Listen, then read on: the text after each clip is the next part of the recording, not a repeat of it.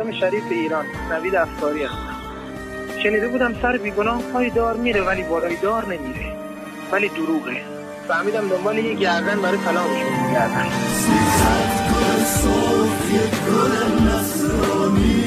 ما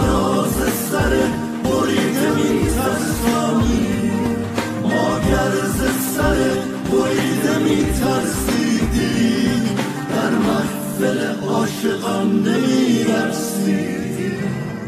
من و خانواده نیاز به کمک داریم. حالا من از هر انسان آزاده و حق طلب با هر عقیده و مسلکی که هستن می‌خوام صدای من و خانوادم باشم